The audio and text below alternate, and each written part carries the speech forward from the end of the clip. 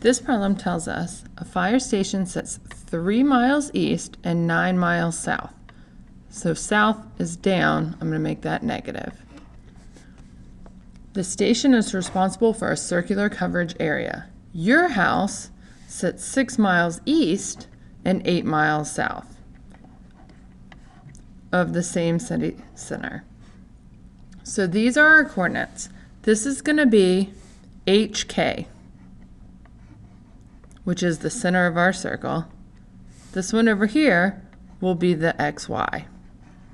So I need to plug these into my equation for a circle. So it's always x minus h, so we'll have 6 minus 3 squared plus y minus k, that would be negative 8, minus negative 9, which will make it positive, squared. 6 minus 3 is 3 squared, plus negative 8 plus 9 is 1 squared. This is going to give me 10. I, but I'm not done. I need to put this back into the equation.